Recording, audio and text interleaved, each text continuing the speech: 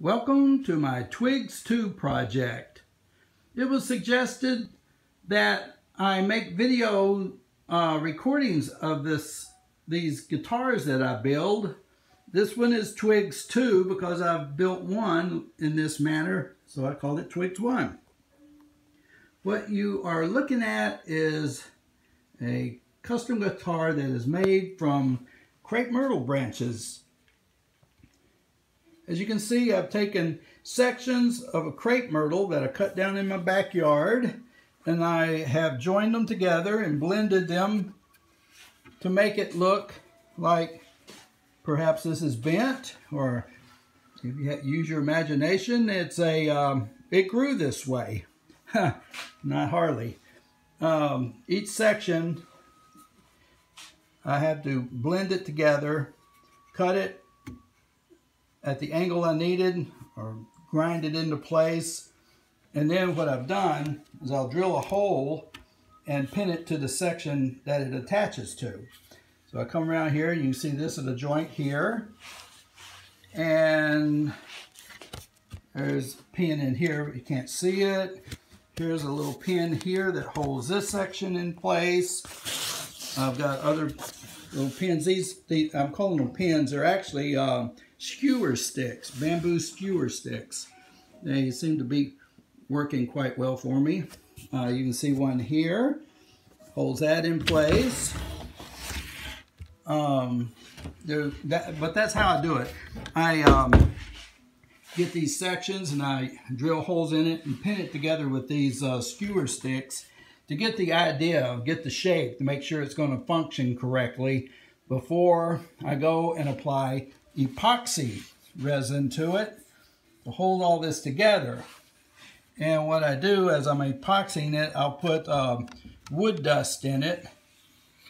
And then that helps me blend it out and smooth it into the joint so it looks like, uh, it, it, there again, it is organic, like it grew that way. Is what I'm trying to achieve.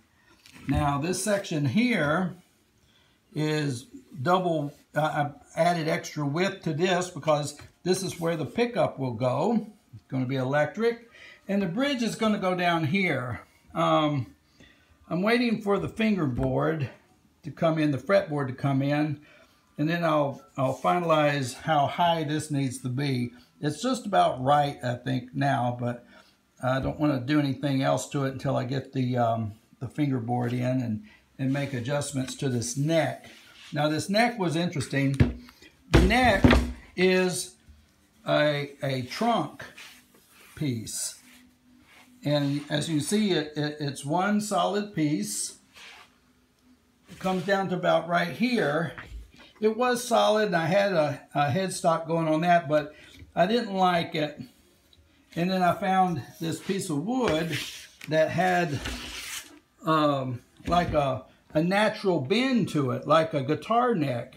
Now it was angled back a little bit radically, but I thought, well, I can make it work. It's a little narrow, uh, so I'm going to end up with uh, two tuning pegs on this side and four on this side, and I'm going to have to pin uh, pin the strings so they can break an angle to come back after it gets off the nut. And I have the slot cut the length of the neck going down into the body a little bit. Uh, and what I'm going to do is take uh, this uh, half inch by eighth inch um, steel bar and place it on its edge like this. And that in the past has been sufficient to keep the neck from uh, warping.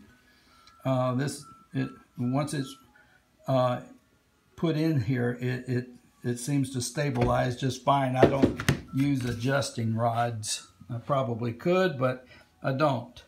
Uh, so far I haven't had to, and I haven't had any problems. So that's about it.